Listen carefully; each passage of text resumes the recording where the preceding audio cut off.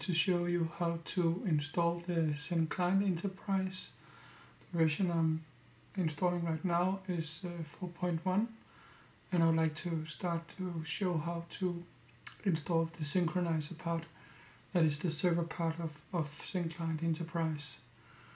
So the first thing you will do is you need to have a physical machine where you can install uh, Hyper-V uh, for 2008 server. So you start by starting the server manager and then you say add roles next and select the Hyper-V role and click next again.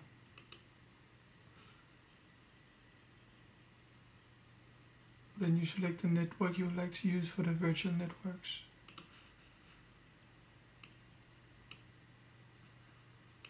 And install it.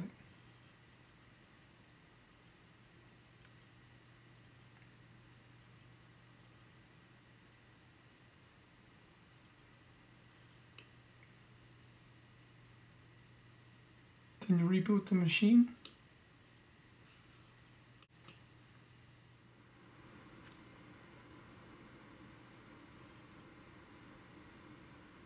After the system is rebooted, open up the server manager again. Let it complete the configuration.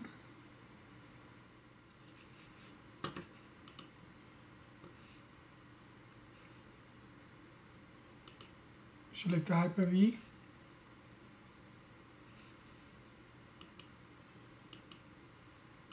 And to the Hyper-V manager.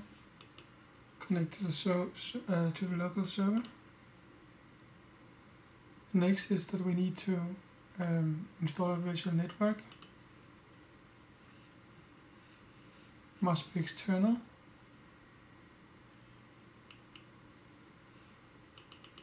Rename. And the name must be extern external network.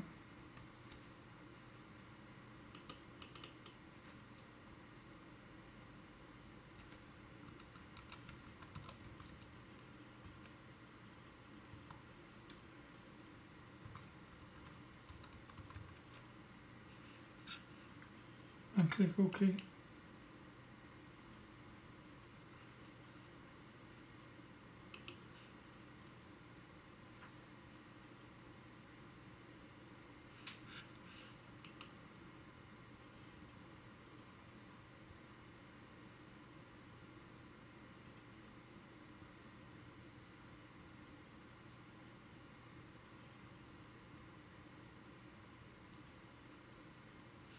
The next thing you need to do is to make sure that enhanced security configuration is turned off. You can see if it's turned on or off here and if it's off you don't need to do anything but if it's on you can turn it off here.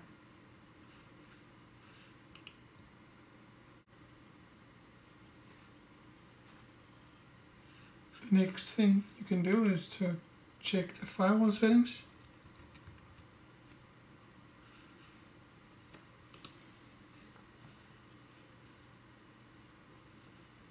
And in this demo, I will turn it off.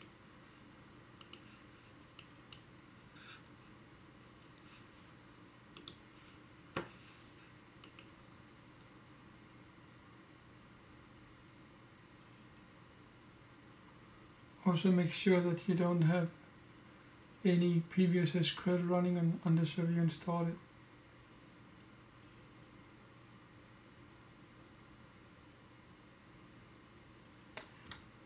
Now we're done preparing the server.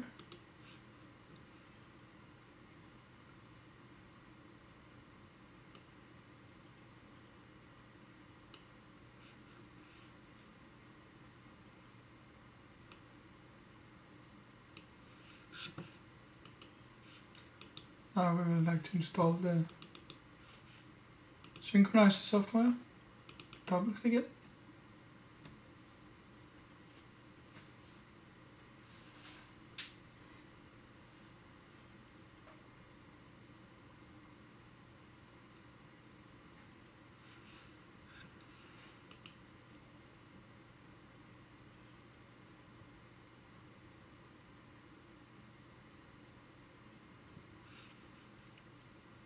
Click next. Read the license agreement and accept. Them and I'm gonna install the central server. As the synchronizer server. You can also install a remote server if you want to offload the central server. I will give it server name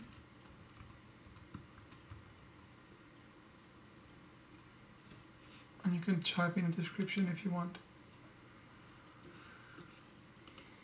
Check for the driver you want to install and I will put everything on the D drive.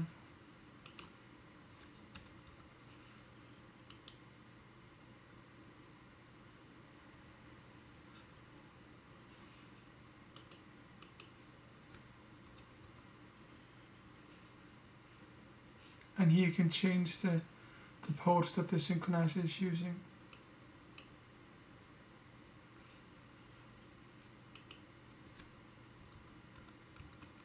Here enter the different information for the SSL certificate.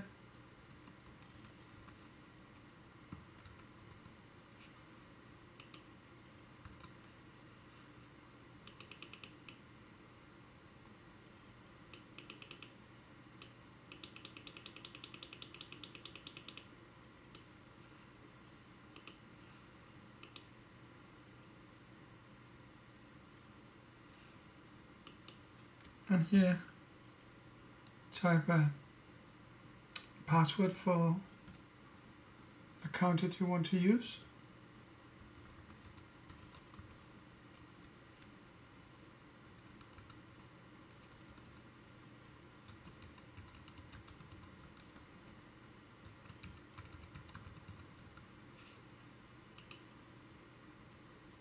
And I'm going to use SQL Express you have an existing database, you can use that as well.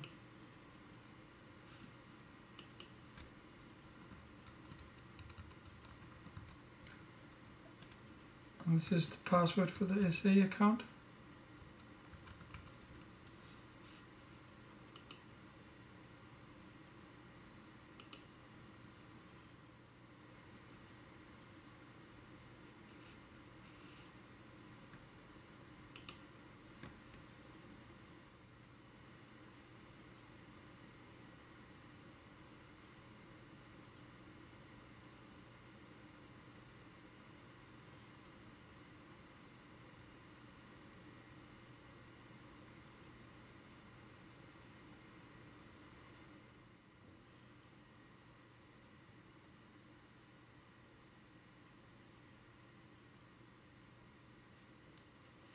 and installation is completed. And we need to restart the server. We log in again. And basically you're now ready to connect to the synchronizer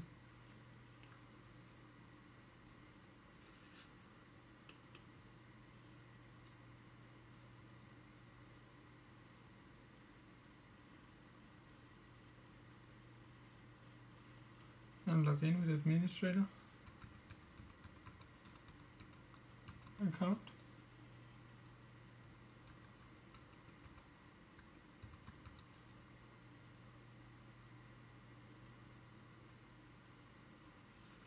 And here we have the synchronizer for Client Enterprise. That's all for this video. Uh, one note is that you can of course also install the synchronizer on Hyper-V in a virtual machine, but in this example I installed it on physical hardware. Thank you very much for watching and watch my next movies where I will show you how to create a virtual machine on the same client and how to publish it for use. Thank you and goodbye.